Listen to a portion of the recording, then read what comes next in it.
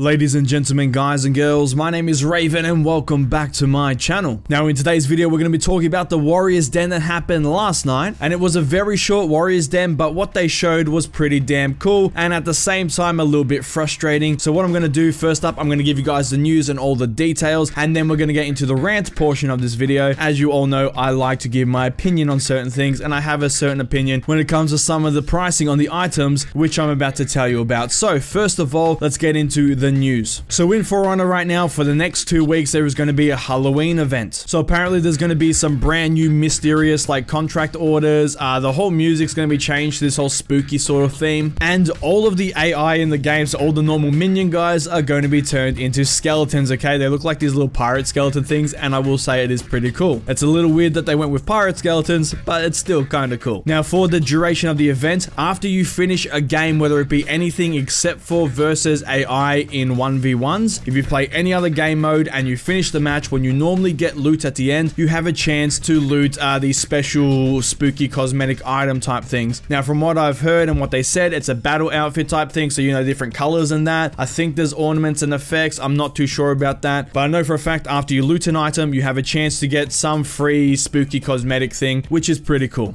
Next up for the duration of this event, they have a brand new mode. It's called the Endless March. I really like that name considering, you know, it's all about skeletons and shit. That's really, really awesome. But when it comes to how the mode actually plays, it's pretty much just Dominion, okay? Except that it has a little bit of a twist on it. So the main way to win the game in Dominion normally is to capture the points and hold them. In the Endless March, the way that you win the game is you have to rack up a whole bunch of points. Now, the best way to get points is to kill enemy skeletons, okay? So the minions in the middle, capturing points on the side will only give you like temporary points. They call it soft points and hard points. But the main way you want to win is to just get into the middle and just kill skeletons. You get a whole bunch of points for that. And then you want to kill heroes, which will get you more points. And that's how you get your enemy into breaking. And then you can win. Keep in mind though, the skeletons hit like a goddamn truck. They hit for something like 14 damage or something per hit, which is quite significant, especially when you're in the middle there and there's like 10 of them hitting you. It's going to hurt. So be very careful. If you're playing the Endless March and you're going to be versing these skeletons, you know, watch out. And now we get into the cosmetic part of this, okay? So, they have a brand new masks tab, okay? So everyone gets a mask. Now, the way these masks work is the knights will get a special one. It's like the skeleton mask with like all these flames that come up. The uh, Vikings will get this sort of uh, bog priest mask thing where you put it on and there's like these orbs that float around you. It's pretty cool. And the samurai get this whole Oni mask with some horns, okay? And it has a new effect on it. When you kill someone, all these orbs come flying out of it and go into you. It's like Soul Stealer or some shit. Now, when it comes to the pricing of these masks, like I said, I'm going to be talking about this later on, but for the event, which is going for two weeks, okay, this Halloween event's lasting two weeks, these masks are to cost 15,000 steel, okay? And then after the event ends, you can still buy the masks, but they're going to cost 20,000 steel. And we will talk about that in a minute, but there is also another sort of thing that they've done for this Halloween event, but this thing is 100% exclusive to this Halloween event. So, for the first week of this Halloween event, you can't buy this thing. In the second week of this Halloween event, you can get this brand new emote called Howl at the Moon. Now, this thing is both cool and a little bit like weird and goofy at the same time in the way that they do the animations, but I like it overall. Now what this thing does is it's a sort of emote where your guy sort of goes down and then uh, starts turning to a werewolf and how's the moon, this effect comes up above your head and it looks nice. Now this thing will cost 10,000 steel, okay? And like I said, it's only available for the second week of this event. After that, who knows when it's ever going to come back, if it's ever going to come back, so make sure you save up some steel and you buy that thing on any of the characters you want in the second week. Now keep in mind as well, it's not 20,000 steel and you get this for all the knight heroes if you buy the knight one. No, it's 20,000 steel per character. Same with the Howl at the Moon, it's 10,000 steel per character. So if you play multiple characters, this is going to be extremely fucking expensive for you. So when it comes to the news, that is pretty much it, okay? So we have this brand new event. It's to last two weeks. You can buy some masks. We have different effects. You can buy this Howl at the Moon thing in the second week. And once that week is done, you can't get that thing anymore. So make sure you save up for that one. The masks you can get afterwards.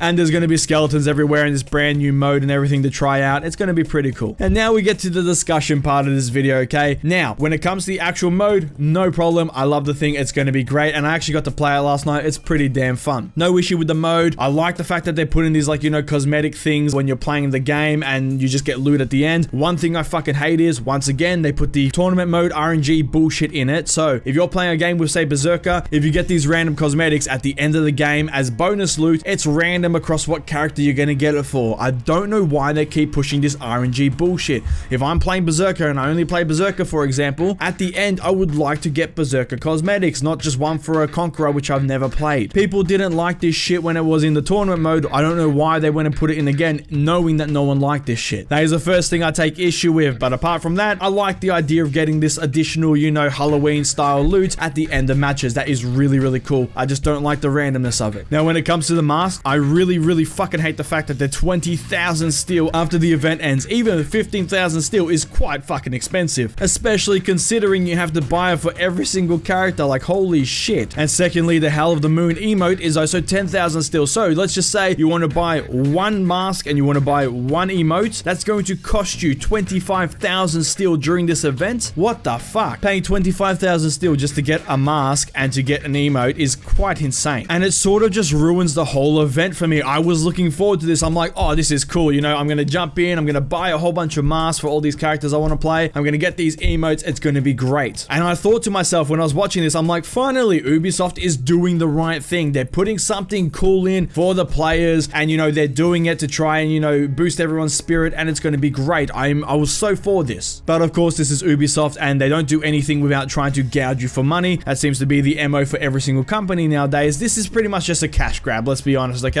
They put these masks in and instead of doing it for the players and making them like, you know, 5,000 steel, 2,000 steel, something like that, which is manageable. You can buy for every single character if you want. It's not too hard to get. They go and just put this ridiculous price tag on it so that way you have to buy steel. Let's be honest here. Like right now, I have 40,000 steel saved up. I can literally only buy probably two masks for two characters and I play about three characters or so. I can buy two masks and then I'm out of steel and then I have to grind up again. Or what I could do is go to the store and buy a whole bunch of steel. And let's be honest here, one of these masks is like $10 worth of steel or some shit like that. The pricing on it is fucking ridiculous and they've done it on purpose because they want people to look at these things and go, these are pretty cool. I want them. I could spend all this time grinding for it or I could just go in and spend some money on some steel, get the steel, buy the mask. And let's not delude ourselves here. It's Ubisoft. That's exactly why they've done this and that's why the price is so high because they want people to buy steel packs. Instead of doing something good for the community as a good faith thing to try and boost everyone's spirits and go, hey guys, thank you so much for sticking around and playing this game, even though most people have bailed by now. Here you go, guys. Here's a nice, cool event, and we're going to be doing more of these in the future. They decide to, you know, fuck us all in the wallets and try and take as much money as possible by making the price really high. But overall, I really like the event, and I like the fact that they're putting effort into this, and then, you know, they've done the skeleton things, they've changed up the music, all that sort of stuff is really cool. I like the fact that they put these masks in and they have this brand new mask tab, but I'm not going to be touching that shit at all because it's way too expensive and I'm not spending any money on this game in terms of steel. Buying one of these masks for one character is fine, but anything past that is just bullshit because it's way too expensive to buy this for even two characters. That's 40,000 steel after this event ends. That's crazy. But that is all I have for this video, so thank you so much for watching. If you liked the video, please give it a thumbs up, leave a comment down below, and let me know your thoughts. What do you think about the fact that they have these brand new masks, and what do you think about the fact that they're so goddamn expensive? And let me know what you think about this event overall, and please share this video around. It helps me out a fuck ton, and if you want to see more videos from me, please hit the subscribe button. I shall see you in the next video. Have a good one, guys.